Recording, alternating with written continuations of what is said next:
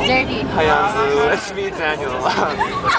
really cute Anzew. So I just wondering if one day, you know, if you're free, we can get together one time. Let's see what that shirt off with you. Well, Daniel, peace out. Bye Anzew.